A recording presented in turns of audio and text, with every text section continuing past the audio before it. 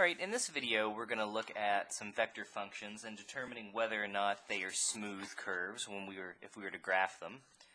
So in part A here we have r of t equals t cubed uh, times i minus t to the fifth times j.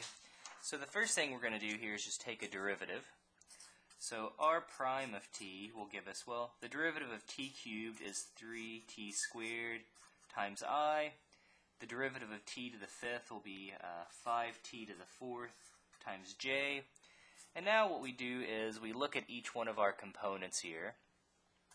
So we look at 3t squared and we look at 5t to the fourth.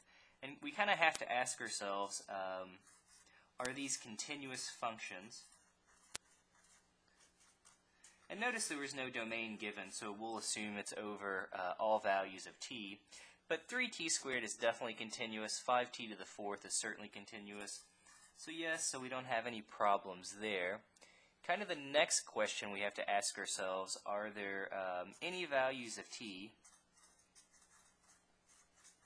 are there any values of t such that r prime of that t is going to give us the is going to give us zero, the zero vector.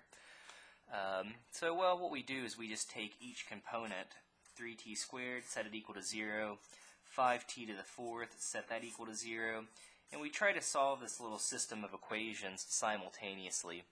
Well, notice, uh, you know, if you plug in t equals 0, t equals 0 is a solution to this system. Okay, right, if you plug in 0 and plug in 0, we'll get 0 out. So uh, if we ask ourselves, are there any values of t such that the derivative at that value of t equals 0? If the answer is yes, so in this case our answer is yes. Um, if it is yes, that tells us that the curve is not smooth at that point.